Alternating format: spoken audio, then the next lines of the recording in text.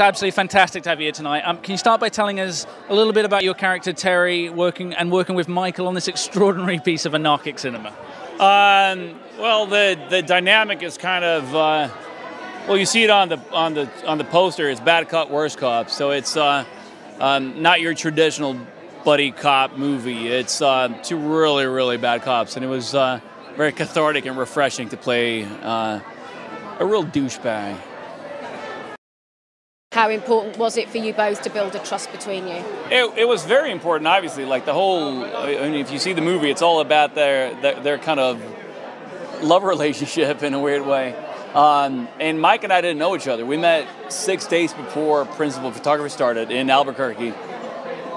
And it was one of those where I was in the car on my way to meeting Mike, just fingers crossed, like, I hope I like this guy because we're going to be in it now for a while. And uh, fortunately, I think you can tell in the movie that we really hit it off and had a great, great time together.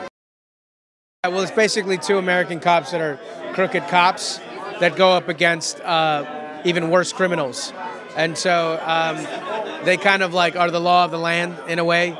Uh, but it's, a it's a dark comedy. And uh, if you like John Michael McDonagh movies, I mean, I think you're going to like this one. I hope you'd like this one. You know, normally it's like a setup, setup, punchline, and in this case, you're telling stories that are kind of comical. And what's interesting is that some audiences react differently towards like the, either the front half, middle, or end, and you get you get laughs, uh, you know, at, at, different places with different audiences, which I I think is really amazing. Um, but for the most part, I, I think that the writing was was just so genius. I, I really do think Mike, John Michael McDonagh is one of the better writers that I've you know out there right now. You know, I hope hopefully I get to work with him again. Uh, you know, as, as long as he keeps making movies. Can you tell us just a little bit about your character and where he fits into this wonderful anarchic ride of a film? Yeah, I play uh, James Mangan, who's the uh, who's the bad guy essentially, and he's a.